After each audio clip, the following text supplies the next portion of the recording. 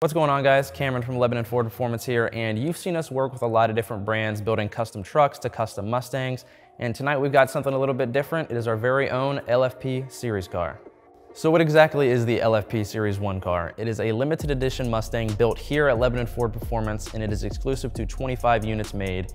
They're all built on a 301A chassis with the blackout package, which blacks out the roof and the wing and the badges. So it differentiates the Series 1s from a standard Mustang starting from front to back. If you pop the hood, you'll see that it has a uniquely numbered badge for each Mustang and it gets Ford Performance hood struts. Moving on to the grille, it does get a Cervini upper and lower grille, which gives it a much more aggressive, mean style. Now moving on to the wheels and tires, it does have the SVE GT350R style wheels, which are 20 by 10 in the front, 20 by 11 in the rear. The front tires are Nitto NT 555s, 275 in the front and 305 in the rear.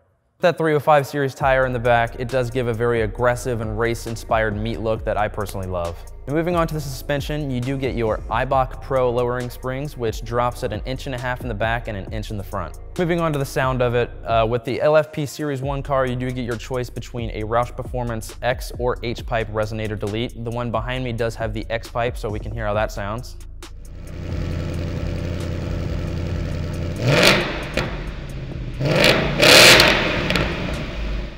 Lastly, as we move inside of the car, the interior is a custom premium leather by Alea. So the awesome thing about the interior is the stitching. No matter how you customize your LFP Series 1 car, the stitching will match the exterior paint. For example, if you want your LFP Series 1 to be Velocity Blue, the stitching will match.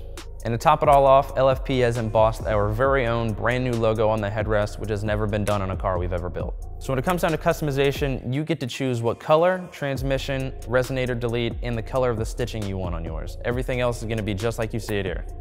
And for those Mustang enthusiasts that are just seeking more power, stay tuned for what's to come in the series. So again, this is number one of 25 of the LFP Series 1 cars, and if you want to build one for yourself, please feel free to give us a call at 513-932-1010 or visit us online at LebanonFordPerformance.com.